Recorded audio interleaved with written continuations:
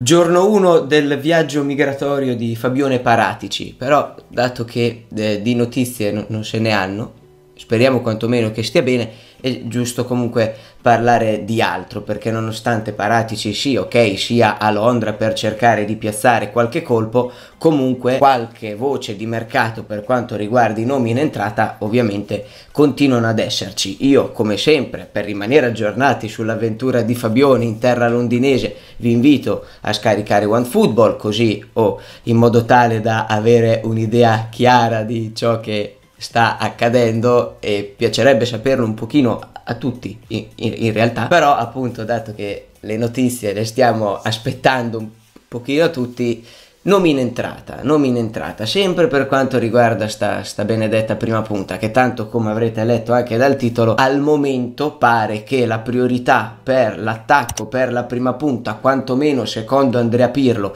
e più che altro è ciò che riportano eh, non dico sia così però riportano e io eh, ririporto. Pare essere quella di eh, Edin Zeko, no? Perché Milik, ok, ha l'accordo con la Juventus, però evidentemente non convince più, più, più, di tanto, non convince come magari avrebbe convinto eh, Maurizio Sarri, no? E io, guardate, boh, non, non so più neanche che idea farmi per quanto riguarda la prima punta, perché, cioè veramente dopo tocchi sempre gli stessi punti. Magari ci sono quelli un pochino più giovani come potrebbe essere Milik e dici sì va bene ha 26 anni però gli sono partiti due crociati o magari generalmente non piace e quindi dici vabbè dobbiamo prendere proprio lui. Poi si parla di nomi eh, diciamo no sulla Trentina come poteva essere Cavani che era stato accostato così per dire tra l'altro 10 milioni all'anno per tre stagioni al Benfica sti cazzi ci aggiungo. Poi per esempio Raul Jimenez Zapata, eh, Zeco, che per carità sono bravi, perché sono bravi, senza ombra di dubbio sono bravi. Raul Jimenez in questa stagione ha fatto, ha fatto eh, più di 30, di, di, di 30, reti in stagione, Duvan Zapata e Zeco comunque a grandi linee li conosciamo, sicuramente non si possono reputare giocatori scarsi, ci mancherebbe altro, però stando per esempio nel contesto Edin Zeco, dato che è proprio recente la notizia della priorità su Edin Zeco, Edin Zeco piano A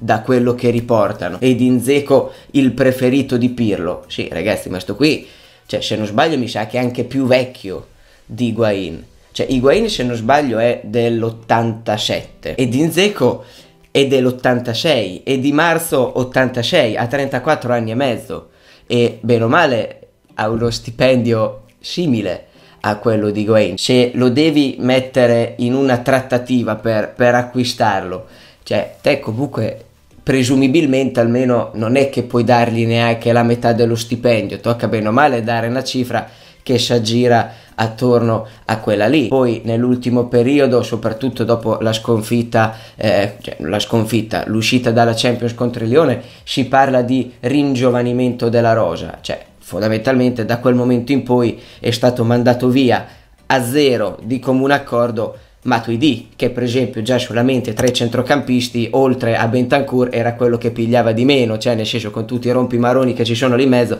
ma è un altro discorso questo. Tu è giusto che ti liberi di, di Gonzaloni Higuain per n motivi, no? Soprattutto perché poi prende 7 milioni e mezzo di stipendio ma se non sbaglio Zeco prende uguale ed è un anno più vecchio e se fai un accordo con la Roma, poi con il giocatore, io faccio fatica a pensare che lui possa passare da 7 milioni e mezzo a 3, a 4. Perché? C'ho anche il contratto con la Roma, voglio dire, se proprio devo prendere di meno, va bene, giocherei nella Juventus, ma onestamente sti cazzi. Quindi, eh, boh, me Zeco ragazzi no, non mi convince. Non dico che non sia bravo perché è un bravissimo giocatore e nessuno mette in dubbio quelle che sono le capacità del giocatore, però la stanno menando con ehm, lo sfoltimento dei, del monte ingaggi, il ro- ringiovanimento della rosa, prendi uno che diventerebbe tra i più vecchi in rosa e uno di quelli che guadagnerebbe di più. Poi, oh, se fosse Benzema, dico a 32 anni, guarda, e Benzema non, non è un problema, e Suarez, va bene,